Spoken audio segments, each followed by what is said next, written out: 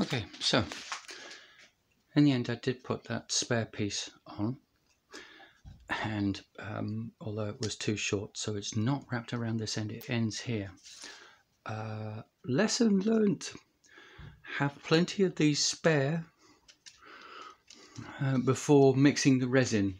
Alright so be prepared. Have several uh, cloth pieces pre-prepared so that if you have spare resin left over um, that's uh, available because you don't want to waste it. And you want you want to make it in small batches so that it doesn't go off before it's time, um, but you also don't want to um, don't want to waste it.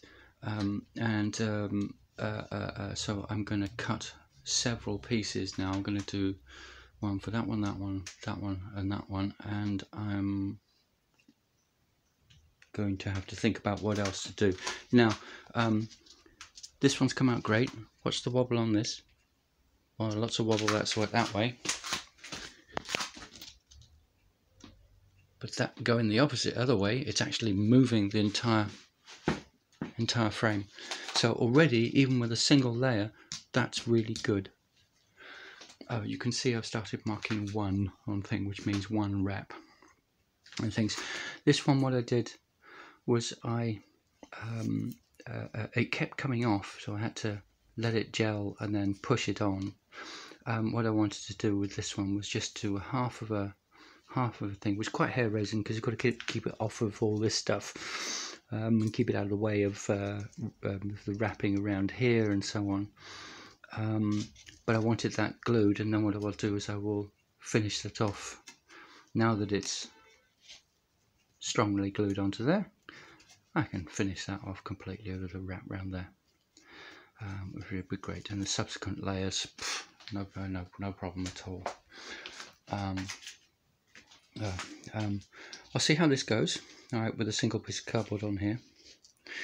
Um, uh, mainly, I want the structural strength in that direction because it's going to be supporting that thing. But you know, it's the the number of layers will give the number of the amount of cloth will give strength on push and pull this way.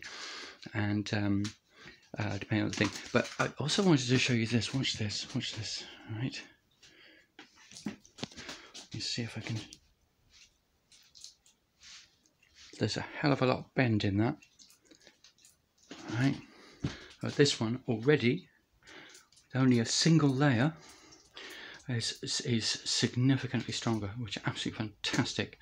That's I, I couldn't have asked for a, a, a better result there um, on, on, on, that. So uh, I'm absolutely delighted. So anyway, yeah, you can see it's taking shape.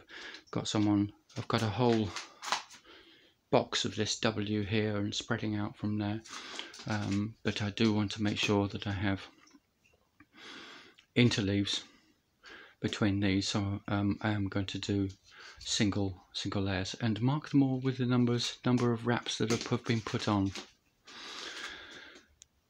Uh, it's clearly visible so you might as might as well. It's not a not a problem. All right. Oh. Uh, right yes. Uh, so this is what I'm preparing the next one. I'll do it as a separate video